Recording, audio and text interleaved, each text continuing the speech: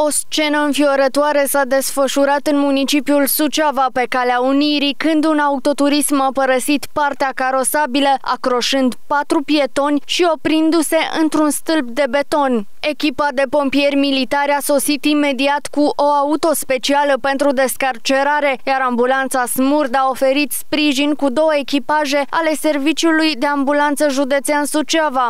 Potrivit autorităților, toate persoanele implicate în accident au fost transportate la unitatea de primiri urgențe pentru investigații suplimentare. Printre victime se numără două femei adulte în vârstă de 19 și 41 de ani, precum și doi minori cu vârste de 9 și 15 ani. Conducătoarea mașinii în vârstă de 58 de ani a fost și ea printre cei răniți. Din fericire, toate persoanele implicate au fost conștiente și cooperante în momentul intervenției de salvare.